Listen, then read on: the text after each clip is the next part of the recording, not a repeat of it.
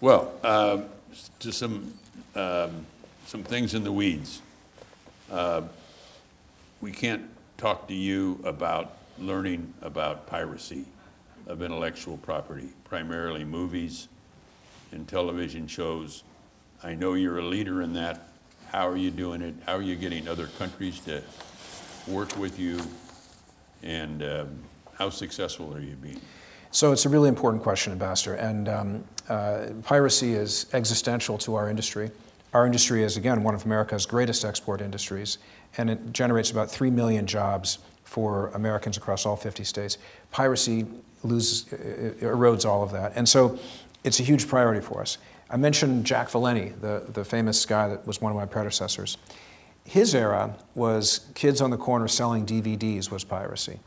In my era, these are criminal enterprises. These are mob enterprises. These are sex trafficking, drug trafficking, uh, prostitution, money laundering. These are the type of people on a global scale that steal a lot of things, including our movies.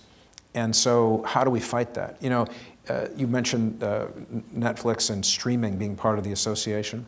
You can, what they call stream rip, which is steal a stream in about four seconds right now with highest equipment and the highest quality. And three seconds later, you can upload it online. So, you know, in under 10 seconds, they're going to take one of the most popular Hollywood product and just zip it out illegally. So what we did was we built something called the Alliance for Creativity and Entertainment, which is my six MPA studios, the largest studios in the world that the ambassador articulated. And I added Apple TV Plus and Amazon Prime, who are also massive. They're not part of the MPA yet, but they are making a ton of product.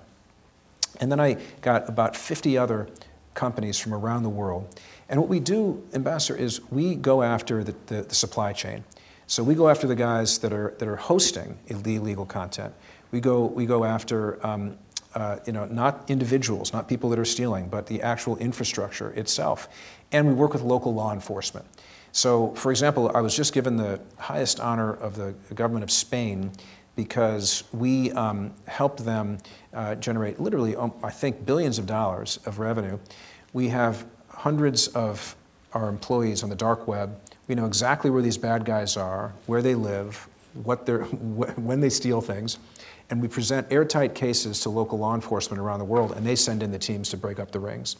And, uh, and we're doing good, and we're saving jobs. So it, it's really, we're making a difference. It's an, it's, a, it's an ongoing battle because the technology changes the fight uh, and keeps evolving. But our group is growing, and our technology is improving, and I'm pleased with where we are right now in this fight.